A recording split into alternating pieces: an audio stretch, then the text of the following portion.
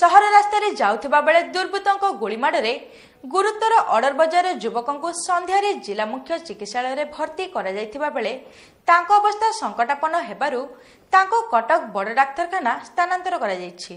ଯୁବକ ଜଣକ ହେଲେ ଅରଡ଼ ବଜାର ଅଞ୍ଚଳର ଗଦାଧର ହେମ୍ବ୍ରମ। ବାଙ୍ଗରା ଗାଁରେ ହେଉଥିବା କୁକୁଡ଼ା ଲଢ଼େଇରୁ ଫେରି ସେ ଜଣେ ସାଙ୍ଗଙ୍କ ସହିତ ଏକ ବାଇକ୍ରେ ଘରକୁ ଫେରୁଥିବା ବେଳେ ଅଟି ରୋଡର ଅରିପ୍ଲାଷ୍ଟ କାରଖାନା ସମ୍ମୁଖରେ ଏହି ଗୁଳିମାଡ଼ ହୋଇଥିଲା।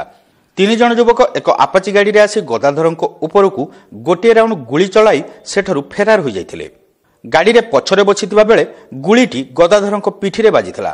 ଗୁରୁତର ଆହତ ଅବସ୍ଥାରେ ତାଙ୍କୁ ପ୍ରଥମେ ଜିଲ୍ଲା ମୁଖ୍ୟ ଚିକିତ୍ସାଳୟରେ ଭର୍ତ୍ତି କରାଯାଇଥିଲା। ଅପରେସନ ମାଧ୍ୟମରେ ଗଦାଧରଙ୍କ ଦେହରୁ ଡାକ୍ତରମାନେ ଗୁଳି ବାହାର କରିଦେଇଥିଲେ। ତେବେ ତାଙ୍କର ଅବସ୍ଥା ସଙ୍କଟାପନ୍ନ ହେବାରୁ ତାଙ୍କୁ କଟକ ବଡ଼ ଡାକ୍ତରଖାନାକୁ ସ୍ଥାନାନ୍ତର କରାଯାଇଥିବା ଶିଳ୍ପାଞ୍ଚଳ ଥାନା ଅଧିକାରୀ ପରେଶ ରାଉତ ସୂଚନା ଦେଇଛନ୍ତି। ହଁ ସେ ଯାହା ଜଣାପଡ଼ୁଛି ଗୋଟେ ବାଇକ୍ରେ ତିନି ଜଣ ଆସୁଥିଲେ ଅର୍ଡର ବଜାର ଆମର ବାଲେଶ୍ୱରର କ'ଣ ଘଟଣା ହେଇଛି ଗୋଟେ ଗୁଳିକାଣ୍ଡ ହେଇଛି ଜଣଙ୍କ ପିଠିରେ ଗୋଟେ ଗୁଳି ଲାଗିଛି ଆଉ ଆମେ ଖବର ପାଇକି ଏଠି ଆସି ପହଞ୍ଚୁ। ଗଦା ହେମ୍ବ୍ରମ ବୋଲି ସେ ପିଲାଟି ଯିଏ ଚଉତିରିଶ ବର୍ଷର। ଆଉ ଯାହା ଇନଭେଷ୍ଟିଗେସନରେ ଜଣାପଡ଼ିବ ନାଇଁ ସେ ସେ କଥା ବର୍ତ୍ତମାନ ସୁଦ୍ଧା କିଛି ଆମେ ଇନଭେଷ୍ଟିଗେସନ କରିନୁ। ଆମେ ପ୍ରଥମେ ଡକ୍ଟର ଡକ୍ଟରଙ୍କ ଆଡଭାଇଜ ଅନୁସାରେ ସେ ପେସେଣ୍ଟକୁ ଆଗ ସିଫ୍ଟ କରାଉଛୁ କଟକ।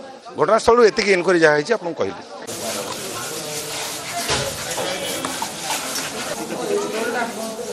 ডোরটা ক্লোজ করে দিও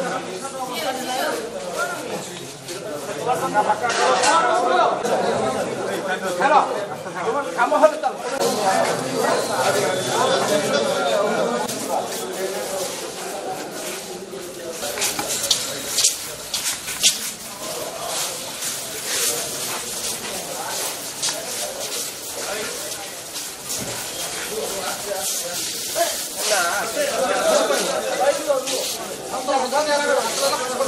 Gregorio.